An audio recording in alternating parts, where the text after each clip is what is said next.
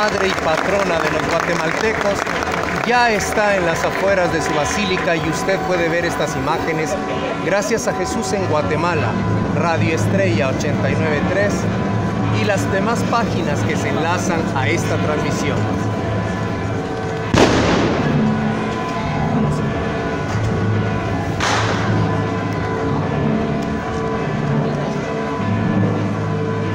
Esta corta pero devota procesión estará llevando a cabo en los alrededores de la plazoleta del Templo de Santo Domingo, su atrio,